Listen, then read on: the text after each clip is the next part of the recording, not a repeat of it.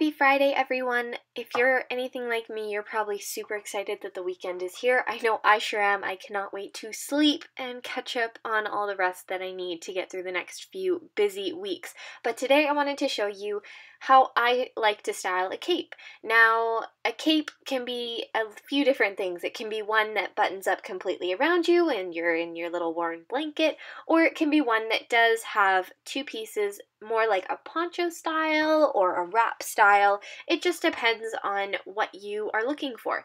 So I picked up this cape last year. My mom actually bought it for me and I got it from Old Navy and I fell in love with it. It is so comfortable and cozy and I feel like I'm wearing a blanket. And then when you're sitting in class and you just want to be cozy and you've got this cape on, you can't ask for anything better. Capes are so incredibly versatile. You can wear them with a classic pair of jeans and a t-shirt like I have, but you can also wear them over a beautiful dress or even if you're going out for the evening and you want to be nice and cozy but not wear a coat, a cape is a great option and it is very elegant and has a beautiful look to it. So I don't know if you're really into capes, but you should definitely check them out. Let me know what you think.